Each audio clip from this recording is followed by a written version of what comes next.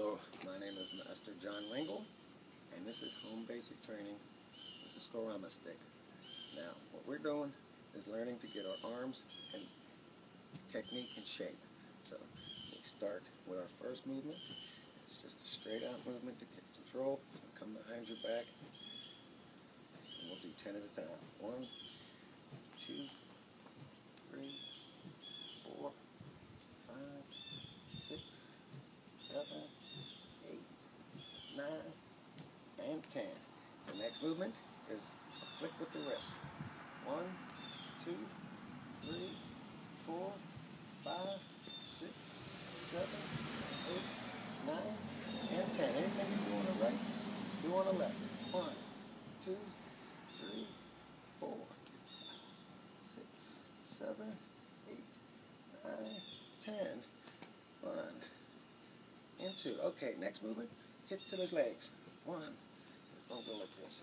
One, two, three, four, five, six, seven, eight, nine, and ten. One, two, putting the two together. One, two, three, four, six, seven, eight, nine, ten. Put them all together. Now we'll do this one. Boom, boom, boom, boom, or boom, boom, boom, boom. It's a sweep to the leg. Come off the leg. Up in the head. Sweep. Sweep. Sweep. Mm. Up. Now I use this to get my arms in shape, my wrists in shape, my forearms, and it helped me lose 85 pounds in the last couple years. It was hard, but some of this training is to get in shape.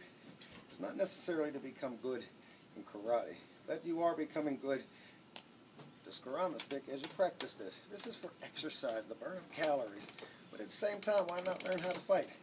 Learn how to defend yourself. Kill two birds with one karate stone. Get in shape and get your arms looking good. Get control of the stick. That makes your arms, hands, and forearms strong. That's what it's all about. Get in good shape and learn some martial arts. Strike to the stomach, strike back to the forehead. Stomach, stomach, head. Stomach, stomach, head. Stomach, stomach, head. Those two will sting. That should knock them out. Sting, sting. Sting, ah.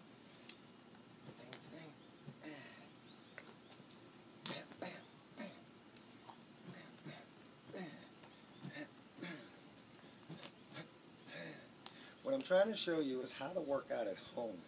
This is how you learn your martial arts on your own, but you learn it from a person that knows what they're doing and will guide you on the basics of stick martial arts, hand to hand, kata, you name it, I can teach it to you.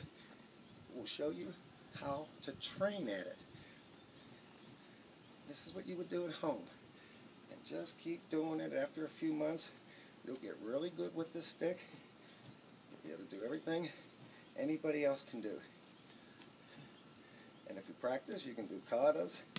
You can go into katas. It's up to you.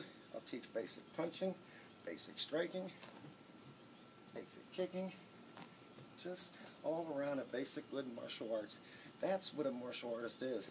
They got to master the basics before you can become a master or a grandmaster. You have to master these things first and then go up the ladder. Okay. Thank you very much. Come and train with ASK.